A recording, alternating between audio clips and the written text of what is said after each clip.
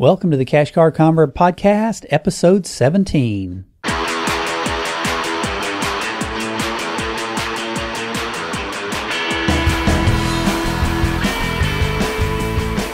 You're listening to the Cash Car Convert Podcast with James Kinson. Hello, and welcome to another episode of the Cash Car Convert Podcast. My name is James Kinson, and I am the Cash Car Convert.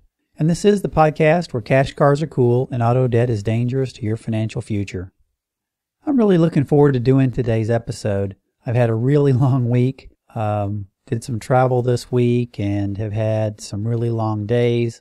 So I'm looking forward to getting to the end of the week here, but uh, I always look forward to getting to speak to you folks and getting this podcast out. So uh, I'm doing another late night to get this one done, but uh, I'm really excited about it, and hopefully you can hear that in my voice. Before I get into the main topic uh, for this episode, I wanted to uh, give another reminder of a speaking engagement that I'm going to be having on March 4th, and that is going to be the Podcast Dallas Meetup and that's organized by Gary Leland and Mitch Todd. And again, that's going to be Tuesday, March 4th at 6:30 p.m. My presentation is going to be covering getting great interview subjects for your podcast and getting noticed. So, uh, so I hope uh, if you're a fan of the show, please come out. I'd love to have your support, and then I'd also uh, love to meet you afterwards. And I really look forward to that. I've I've been to uh, some meetups like this, and uh, they're always a really great time. So I would really love it if you uh, could make it out. All right, let's get into uh, today's episode. I received a message from a reader of my blog back at the end of December, really right before the launch of my podcast, so it was uh, pretty late in December. And this gentleman uh, actually reached out to me via SpeakPipe on my uh, website, cashcarconvert.com. And he told me that he's got a 2006 VW Passat and that he and his wife really love the car and they enjoy driving it. He said it was coming up on 100,000 miles and he was concerned about how much it might start to cost in repairs and that they were getting pretty costly.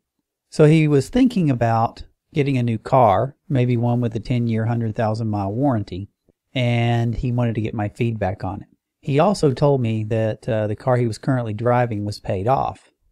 So if I'd been speaking to him directly, I would have asked a few more questions. But since I, you know, just got input from him and I didn't get uh, a chance to to ask him any questions, I just made a few assumptions and went ahead and uh, and responded to his uh, his his question. And basically, what I said is that you know I appreciated where he was coming from, and it it did sound like to me, and and what I heard in his voice is that he and his wife did enjoy driving their VW Passat but that, you know, either it was too expensive to maintain or he was concerned that it was going to be too expensive to maintain. And I went on to tell him that while I didn't know his, his situation fully, I was going to, uh, you know, approach this, uh, you know, using industry averages as a way to, uh, to discuss the topic with him. I also didn't know whether he was planning to take out a car loan for the new car or whether he was planning to pay cash. The, I went on to tell him that uh, you know whether he was going to be in debt for it or whether he was going to pay cash, I didn't recommend buying a new car. And the reason is, and, and I gave a Dave Ramsey quote. Dave Ramsey says, "Remember, unless you're a millionaire, you cannot afford a new car because you can't take the hit in depreciation." Now, I knew this. Um, I've heard Dave say this many times, and as those of you who listen to the show regularly know, I'm a a Dave Ramsey fan, and uh, that's the reason I'm doing this podcast. If I never read his book, uh, you wouldn't be hearing my voice. So, uh, so I, I, really take to heart what Dave has to say in these kinds of situations. So, I wanted to do something to illustrate this point uh, for the gentleman who uh, who uh, reached out to me. I have outlined the depreciation. So, I told him, look, I'm not sure what new car you're considering. So, therefore, let me just use some industry averages. According to Edmunds.com, an average new car sells for around $31,000. And this is based on numbers from back in August of 2013. So they're a little dated, but I, I, you know, I think they illustrate the point. Now, in the note that I wrote back to him, I actually listed the depreciation, uh, the average depreciation based on a calculator that's uh, found on the on the Edmunds website. It's called uh, it's the depreciation infographic. How fast does my new car lose value? And based on that uh, infographic, uh, I came up with the following numbers. A new car on the lot is valued at $31,000. At the end of the first year, it's worth $23,334, so it's lost $7,666. At the end of the second year, it's worth $19,821. At the end of the third year, it's 16,731. At the end of the fourth year, it's 13,993.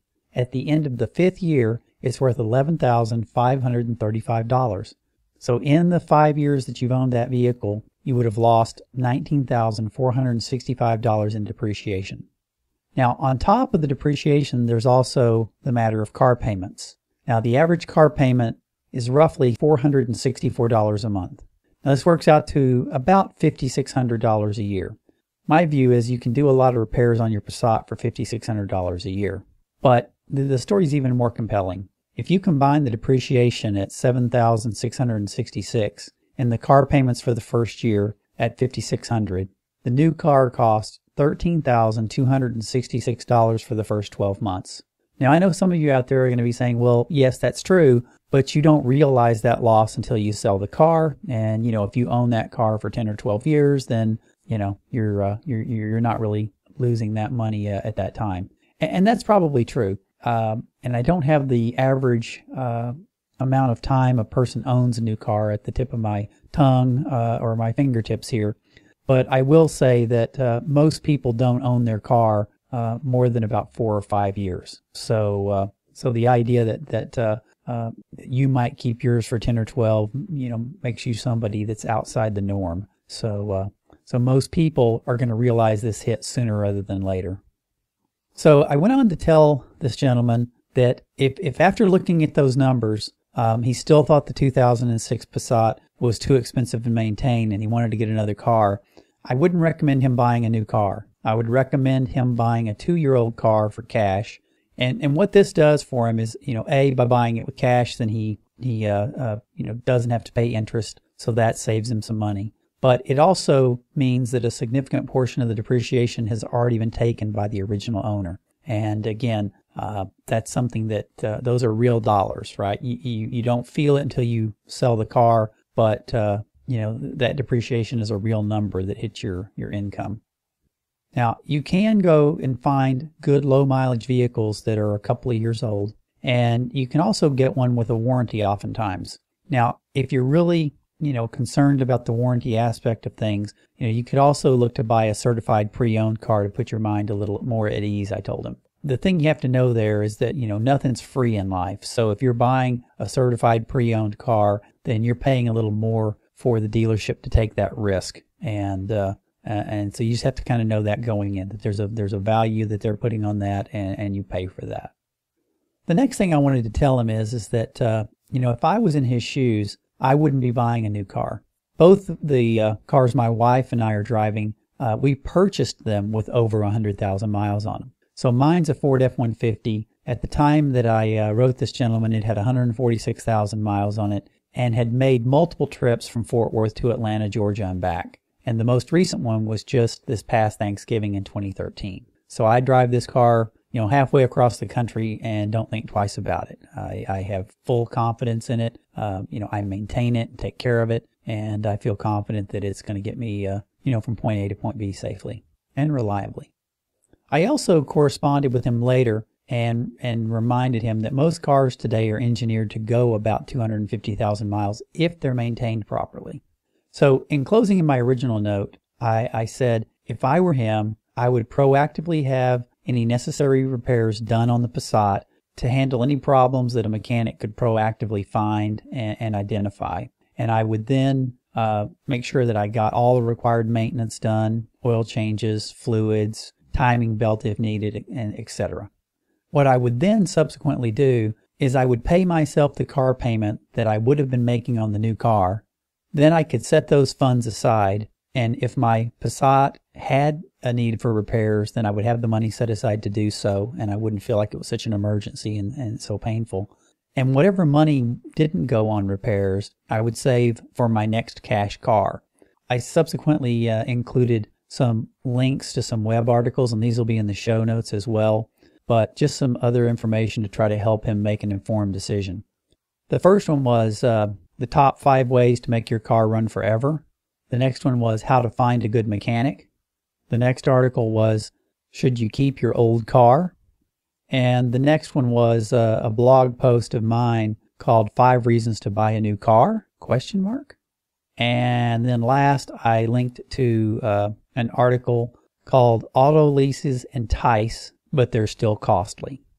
And I uh, made a little side note there that that article is about more than leasing, and uh, I think a lot of people would enjoy reading that. So uh, again, that'll be that'll be uh, linked up in the show notes.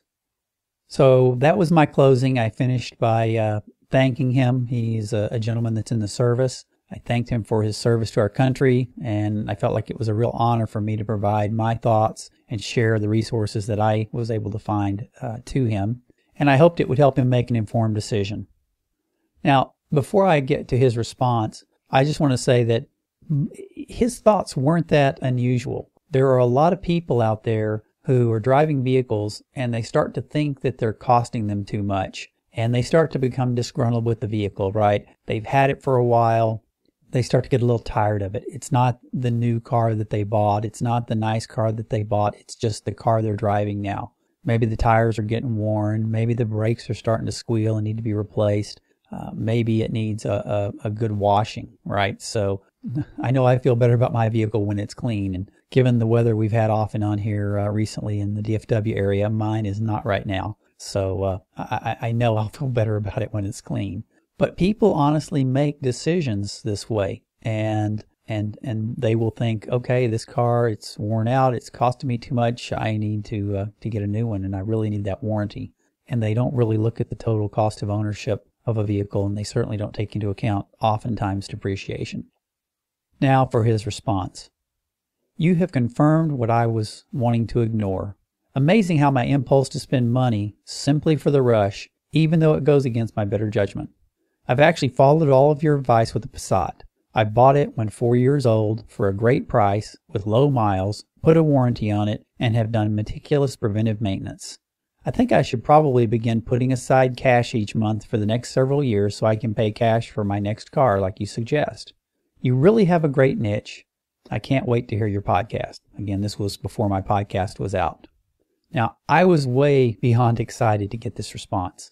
And what I want to do is I want to challenge all of you listening who are in a similar situation to take a hard look at the numbers before you pull the trigger on a new car. And I would say, please reach out to me if you need help. That's what I'm here for. Comment on my show notes. Reach out to me on Twitter. Shoot me an email at cashcarconvert at gmail.com leave me a SpeakPipe message on my website, cashcarconvert.com, uh, as this gentleman did. You know, I'll be happy to do what I can to help out. And, and, you know, if you have a question, chances are there are a lot of other people out there who have that question and maybe they won't ask me. So for any of you that this article or the, this uh, podcast episode helps, be aware that, you know, I had the, uh, the opportunity to do this podcast episode because I had this gentleman you know, reach out to me and ask this question. And that gave me the opportunity to speak to it.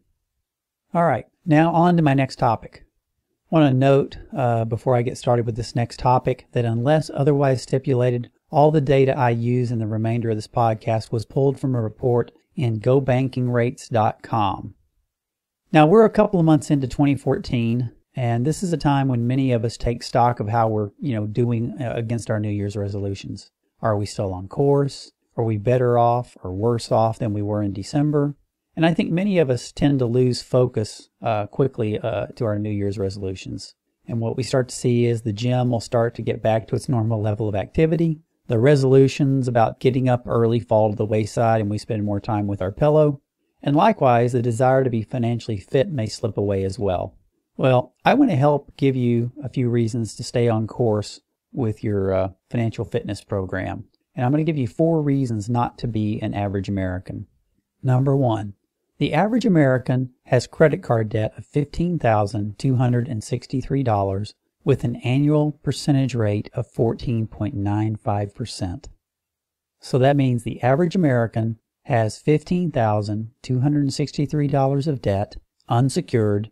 Who knows what they used it for? If they were like me, they probably just, uh, you know, took trips, bought clothes, went out to eat, and didn't really uh, didn't really watch their their budget.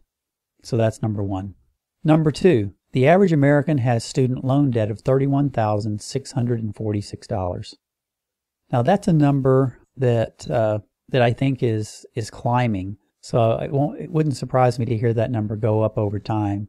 Uh, I've heard people say that student loan debt is now the you know number one credit issue, or you know maybe number two behind credit cards. I personally still think the uh, the car loan is the number one issue, and I'll get to why I think that here in just a minute. But uh, if you're a student out there and you're in college, you really need to think about what you're spending on college and what the outcome is going to be when you graduate. There are a lot of people going to college right now who are expecting a big payoff when they graduate, and it doesn't always come. And if you're going to a private college to get a job that's going to pay you thirty or forty or fifty thousand dollars a year, and you're going to run up, you know, fifty, seventy-five, a hundred thousand dollars in debt, student loan debt, you know, I'm going to encourage you to think twice about where you're going to school and find a state school uh, in your in your area where you can go and have an opportunity to, to either go with no debt or at least much less debt. You know, my, my encouragement would be to go with no debt. Uh, you're going to come out the other side feeling a lot better about yourself and your situation. But uh, but certainly think twice about going to a private school that's really expensive to uh, you know to get a thirty, forty, or fifty thousand dollar a year job. Number three, the average American has auto loan debt of thirty thousand seven hundred and thirty-eight dollars. Now the travesty about this is a couple of fold, I think. First of all, it's less than the student loan debt. So again, people are going to look at that and say, well, yep, student loan debt is, is a bigger problem. Well, I disagree, and here's why. That student loan debt that they have of $31,646, that's a one time event. That's the average, and they're going to pay that off, and most people are going to be done with their student loan debt. That $30,000 of car loan, almost 31000 that's going to repeat every three, four, five years. You're going to trade that car in and you're going to get another one. And, and cars have gone up 11% in, in uh, price since 2009. So, you know, I don't know how much more they're going to go up over the next 10, 15, 20, 30, 40 years. Depending on your age, that's how much longer you're going to be looking to buy cars. So I think this revolving auto debt at $31,000 and probably climbing is a bigger problem for Americans not just because of the debt and the interest that's paid on these debts, but also because of the depreciation I talked about uh, in the previous segment.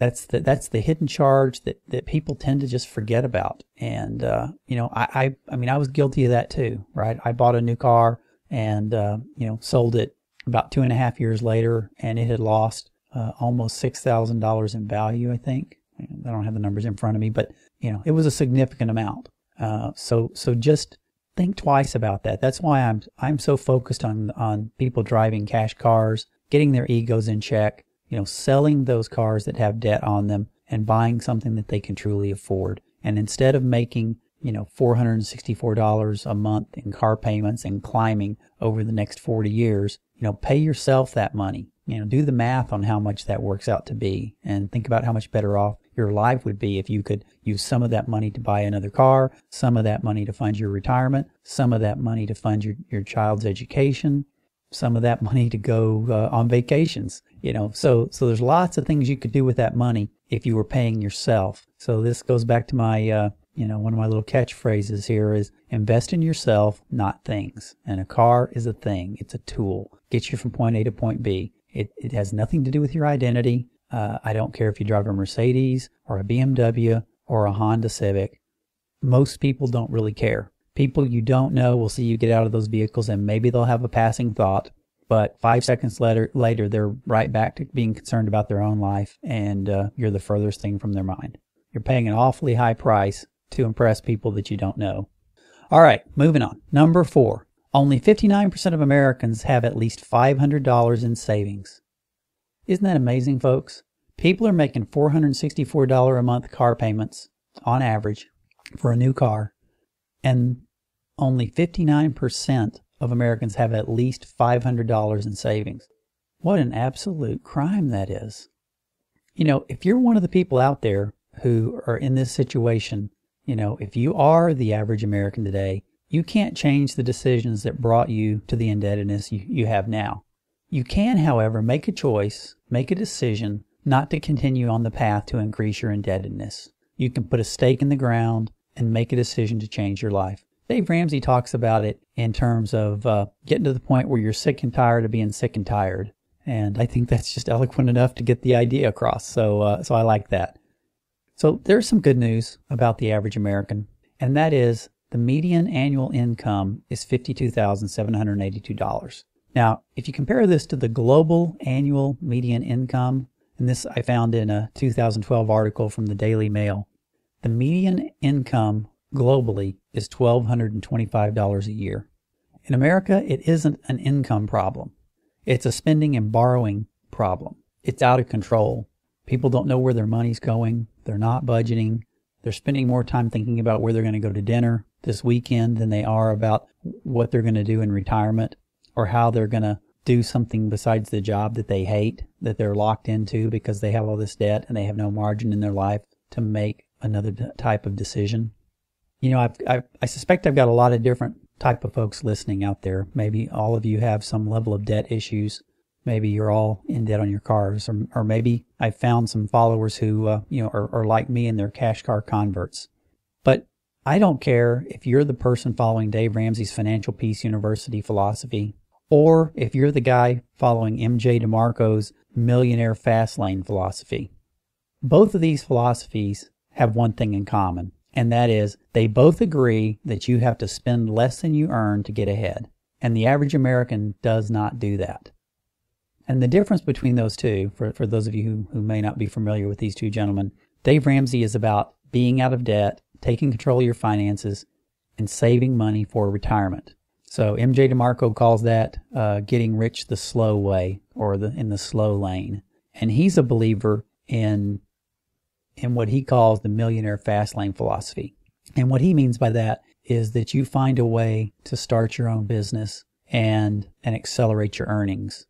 Now, I've had people on my podcast who live that type of life. They've bridged from doing something like the rest of us do with a 9 to 5 type job and they got themselves in a position where they had some margin in their lives and they were able to, to then make the leap to their dream of having their own business of some sort. And that's what I'm trying to, to inspire you guys with. And, you know, it's one of the reasons I have uh, interview guests on my show because I don't want you to just know my story, uh, you know, that I was in debt and, and I was able to work my way out of it. I mean, that's all well and good. But there are people who've done many more amazing things in their journey than I have. And I want to bring those people to you to let you know what's possible because I think so many of you out there have this greatness in you, but you're shackled to debt. You're a slave to debt. And I want you to shake those shackles loose, kick off the bondage of debt, and start to live the life that you deserve to live. All right, I'll get off my soapbox now on that, and I'll get back to, to the topic at hand here. According to the Bureau of Labor, and Statistics, for the year that ended in 2012, in most households, the second largest annual expense is the car, and that's only second to the expense of housing. In my view, it's much easier to drive a cheaper car than to move to a cheaper house or apartment. This makes your car a prime target to be the fastest way to get you out of debt and to get your lifestyle under control. If you look at my previous posts and podcasts, you'll learn how to find and buy a good and expensive cash car. You can also find a post on how to sell your current car. There will be a podcast uh, coming soon to cover that same topic. For those of you who, who don't like to go out and read blogs, I'll be happy to cover that here in an upcoming episode of my, my podcast. Whether you choose to reduce your annual expenses by downsizing your car or in some other area of your life, make controlling your spending and reducing your expenses a priority for the remainder of 2014. Don't be an average American. This is the Cash Car Convert. I appreciate you listening. Thank you so much for taking the time to let me speak into your life. Have a blessed day.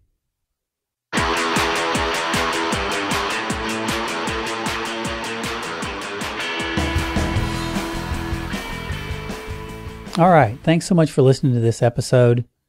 The show notes can be found at cashcarconvert.com slash 017. Again, that's cashcarconvert.com slash 017. If you found this episode useful, if you're enjoying this podcast and you think it's bringing value to you, please go out to iTunes and subscribe. And once you're out there on iTunes and you've sub- subscribed, go out and leave a rating and review. I got another one the other day, so I'm up to 19. I've got a couple more weeks in new and noteworthy uh, within iTunes, and I would really like to see um, myself get to at least 25 reviews. So I'm hoping that uh, those of you who are listening who feel like you're getting something out of this could just take a couple of minutes. It really doesn't take more than that to go out there and, and leave a rating and review. And it really does make a big difference in my ability to get noticed uh, within iTunes and to get my message out to a larger audience. For anybody who uh, would like, when you're out on the show notes page, you can feel free to leave me a comment out there. I uh, always check those out.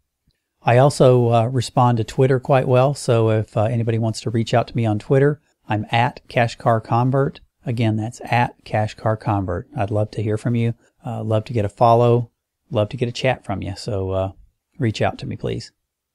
If you have a comment about this episode, or if you would like for me to uh, cover a particular topic in a future episode, uh, you can certainly leave that in the show notes. You can send me an email at cashcarconvert at gmail.com. Again, that's cashcarconvert at gmail.com. Thank you for listening to the Cash Car Convert podcast. This is James Kinson. I am the Cash Car Convert. I want to help you buy a cash car and kick auto debt to the curb.